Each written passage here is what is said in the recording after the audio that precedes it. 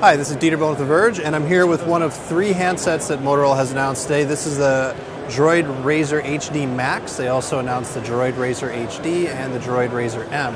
All three phones are coming to Verizon, and of course, run Verizon's 4G LTE network.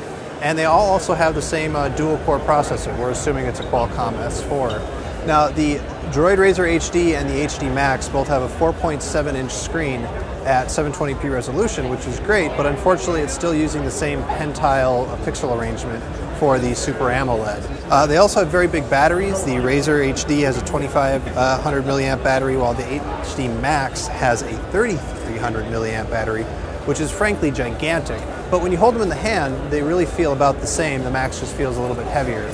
Now the Razr M has, of course, a smaller battery and a smaller screen. It's a 4.3 inch screen at 960 by 540 pixels.